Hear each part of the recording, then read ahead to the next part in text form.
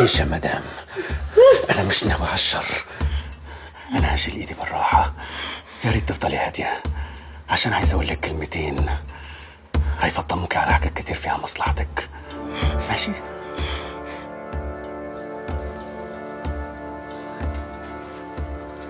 أنا عايزه أعرف أنت عرفت مكاني إزاي؟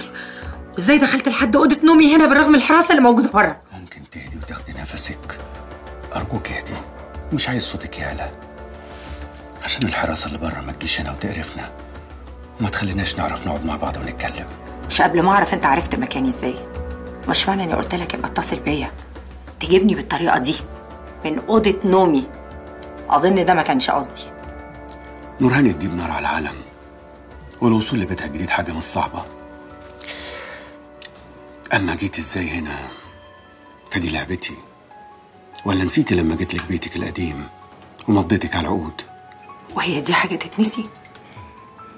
أنا بعاني لحد دلوقتي من اللي أنت عملته فيا. مش اللي أنت عملته فيا بس. بعاني من كل حاجة حواليا.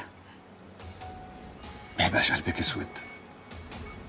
أنا صلحت الغلطة اللي عملتها ورجعت العقود لطريق باشا الله يرحمه. وحطيت إيدي في إيده ورجعنا لك بنتك. ولا نسيتي. ما هو ده اللي هيجنني؟ يبقى الباشا الله يرحمه حكالك حكالي وعمري في حياتي ما احترت في حد. قد ما احترت فيك يا فتحي. عشان كده طلبت منك إنك تتصل بيا. لأني مش فاهماك. انت, أنت مين؟ أنت إيه بالظبط؟ أنت مجرم؟ ولا عصبجي؟ ولا ضحية ولا مظلوم. رد عليا أنت مين يا فتحي؟ أنت إيه رأيك يا هانم؟ ما أعتقدش إن أنت مكلف نفسك وجاي لحد هنا عشان تعرف رأيي فيك. عندك حق. الله يفتح عليكي. أنا ما يهمنيش رأي أي حد لأن أنا نفسي بحتار في نفسي كتير. يعني ما يفرقش معايا رأي الناس. أمال إيه بقى اللي يفرق معاك؟ الفرصة. مش فاهمة. الفرصة اللي اداني جوزك. طارق باشا الله يرحمه. عشان أبعد عن سكة الشر. وأطهر نفسي من كل اللي فات. مسكت في الفرصة دي بإيديا وأسناني. لكن للأسف محدش صدق. أنت عايز إيه؟ عايز تجنني؟ عايز تقنعني إن أنت مالكش أي يد في كل اللي بيحصل لي؟ ولا اللي بيحصل لأي حد. تبقى غلطان يا فتحي لأن أنت لو جاي عشان تبرأ نفسك قدامي هتشككني فيك أكتر. بص أنت طلبت مني إني أسكت. وأنا ساكتة وهادية أهو. أكيد عندك الأهم. اتكلم يا فتحي أنا سامعك أنا جاي أقول لك حاجة واحدة بس. إن عدوي وعدوك واحد. اللي بيأذينا أنا وإنتي. شخص واحد. مين؟ اللي رجالته حواليكي. وبيمثلوا إن هم بيحموكي. رفيق الجراح؟ مالك كده واخدة الحكاية على هادي أنت كان عندك علم قبل كده وراسي على الدور غريبة. أنت عارف إن رفيق الجراح بيقول عليك نفس الكلام؟ بيفهمني إن أنت سبب كل المصايب اللي بتحصل لي؟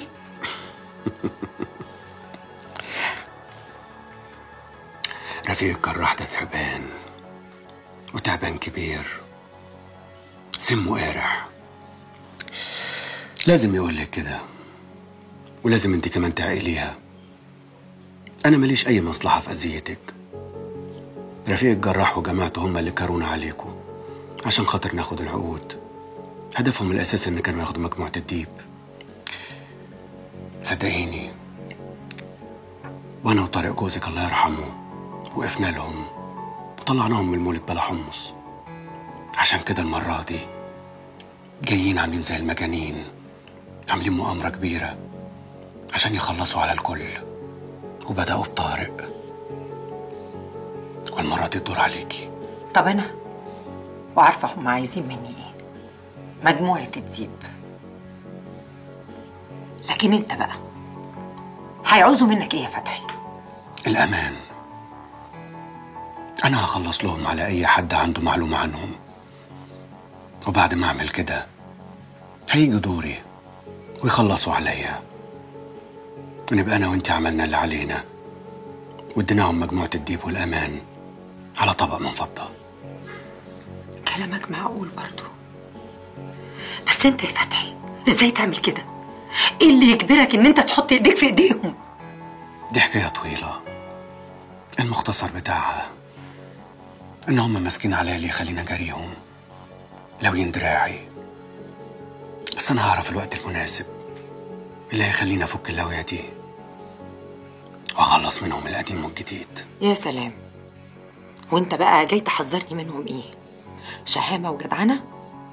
كده لوجه الله؟ المثل بيقول يا هانم. بيقول إيه يا فتحي؟ أنا وأخويا على ابن عمي. وأنا وابن عمي على الغريب. الله ينور عليكي ودول بقى مش غربة وبس. ده العداوة باينة في عينيهم وشايلين الشر لكل البلد. عارفة المجموعة بتاعتك دي كلها؟ بكل الناس اللي شغالين فيها بكل خيرها. مجرد خطوة. حطت رجل. وأول ما يبدأوا يحطوا رجليهم. شوية شوية هيدوسوا على الكل. ما يقدروش علينا بالسلاح. هيقدروا علينا بالسخرة والتجويع والبقية تأتي. كنت متأكد إن عقلك كبير. وهتفهم القصد والنية بسرعة. طب والعامل يا ابن عمي؟ عقلنا في راسنا نعرف خلصنا يا بنت عمي. وأنا متأكد إن هم اللي خلصوا على طارق. عشان يستفردوا بيكي وياخدوا اللي هم عايزينه بسهولة. أنا ابتديت أخد بالي. كان قلبي حاسس. ومش هسيبهم. أنا اتصلت بظابط خالد وهحكي له على كل حاجة. وأكيد هو هياخد لي حقي. كويس. الظابط خالد مش سهل وهيعرف يسلك معاهم. أي نعم ده ممكن يعكسني في حاجات كتير وأنا بعملها. بس مش مهم. أهم حاجة يكونوا مرصودين وتحت العين. وبعدين مش يمكن لما أجي اصطادهم يصطادوني. ساعتها بقى يبقى البركة فيكي. انت والظابط خالد. تعملوا اللي أنا ما قدرتش أعمله. انت أهم حاجة خليكي في سكتك زي ما انت ولا كأنك شفتيني. ولا كأنك سمعتي ولا كلمة من اللي أنا قلتها. ولو في كلمة واحدة من اللي إحنا قلناها طلعت بره أنا هتضر جدا. ومراتي هتموت. وهو مش معقول يعني. خير تعمل شر تلقى برغم الشيلة الكبيرة اللي أنا شايلها فوق كتافي إلا إني ما نسيتكيش. وما حبيتش تعيشي على عماك أكتر من كده. كتر خيرك يا فتحي. أنا لا شفتك ولا أعرف عنك حاجة. بصي هانم أنت في رقبتك ناس كتير. عشان كده خلي بالك على نفسك. وانت كمان خلي بالك من نفسك يا فتحي. ولما نخلص حسابنا التقيل معاهم هنبقى نتقابل. إحنا الكلام اللي بينا لسه ما خلص لو اللي اتقال بينا ده هيفضل سر يبقى الكلام له بقية. هتخرج إزاي يا فتحي؟ زي ما جيت. لا لا لا. أنا هأمنك. هغطي خروجك وأوعدك لما نخلص من الهم اللي إحنا فيه ده هتيجي وهتخرج من الباب. لو في العمر بقية هيحصل. سلام يا هانم.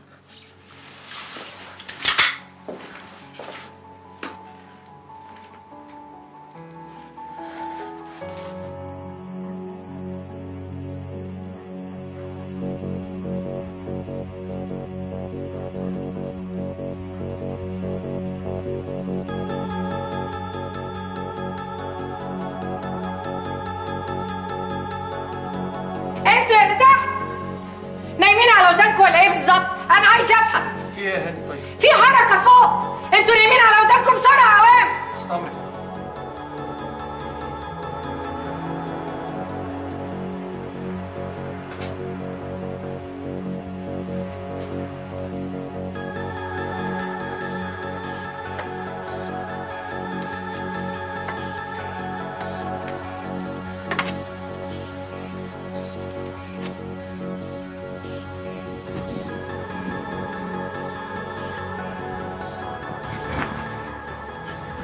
مفيش حاجة يا هانم. كله تمام.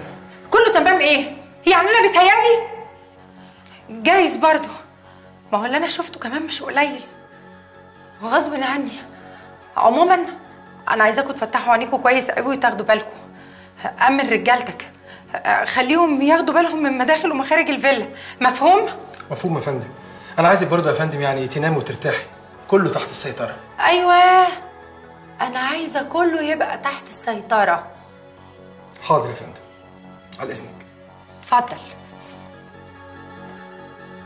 بعد ما اتكشفت لعبتكم القذرة أنا بقى هوريكم مين اللي هيسيطر بجد.